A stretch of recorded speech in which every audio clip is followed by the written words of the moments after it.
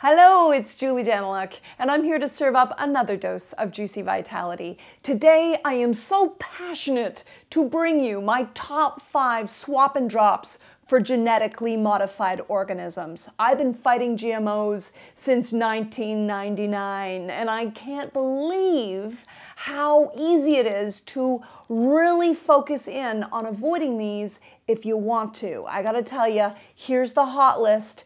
The big one to start out with, get rid of genetically modified canola oil and soya oil. You wanna look for this on the packages of everything from crackers to cookies.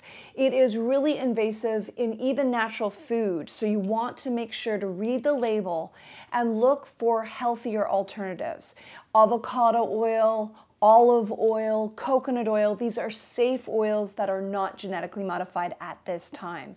Make sure that the olive oil you're using is real. Did you know that a lot of olive oil is fake? If it's light olive oil, if it's packed in a plastic container that you can see straight through it and it doesn't have any green tinge whatsoever, be concerned. We want to really focus on authentic olive oil know your farmer, know where you get it from. If it's certified organic, then it has a paper trail from farmer to plate. So that is a really good option. Moving on, I now really want you to consider what are we going to do about American dairy? American dairy is a big culprit because the cows grown in America often are injected with bovine growth hormone. And this is a very dangerous technology that can potentially increase your risk of cancer. So we're so lucky in Canada that we, we have a law against it, but a lot of US dairy comes up from the States, so even Canadians should be concerned around products, dairy products that are actually from the United States. Please focus on alternatives to dairy to be absolutely safe. Can you try out coconut ice cream? Can you try out cashew milk? Can you try out uh, making your own hemp milk, which is a beautiful recipe from Slimming Meals That Heal? Can you consider how beautiful it is to, to try on um, a, a, beautiful cheese that's also made from my book, or you can actually have cheese made from safe things like tapioca that are commercially available. Moving on, I really want you to consider corn chips are one of the worst genetically modified foods on the planet. The reason why I think corn chips, taco shells, corn flakes are the most disgusting GMO of all is because it's one of the GMOs where the protein package, the DNA itself, is left really intact. With oils, we extract the protein, but with the actual corn chips and corn products, the gene package is left there we have a virus vector, we have antibiotic resistant marker genes, we have strange proteins that may be really increasing your allergenicity. So I want you to focus on really moving away from any conventional corn at all. If you have to buy any corn product, is it non GMO verified? You should look for the label non-GMO verified, non-GMO project verified.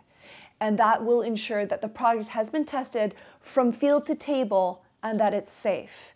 I really want you to also consider maybe organic popcorn is a nice snack choice. If you have to eat a corn product, at least organic popcorn is not genetically modified at this time and is a safer thing to be trying on. And organic popcorn um, just is so delicious and flavorful. I love air popping it and then adding my favorite seasoning afterwards. Really good idea. Okay, I really, really find it sneaky that in, um, in the States we're also dealing with genetically modified papaya from Hawaii.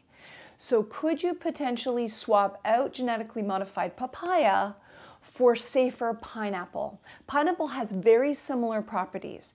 So in papaya, you have papain, which is the anti-inflammatory enzyme, and in pineapple, you have bromelain.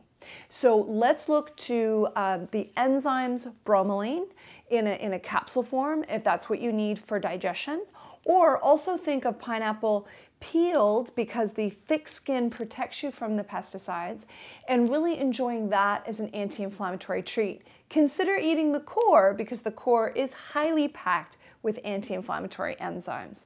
And last but not least, I really want you to consider avoiding refined sugar, as refined sugar at this time is dreadful and is not only an addictive poison, but riddled with genetically modified beets. So please look to coconut sugar as a beautiful alternative, and it's a staple in a lot of my beautiful recipes. So check out more Slimming Meals That Heal and the beautiful Meals That Heal inflammation recipes that is available all over my website and in my cookbooks. All right, next up, we want to consider a replacement for soya sauce because it is such a popular seasoning in any sort of Asian recipe.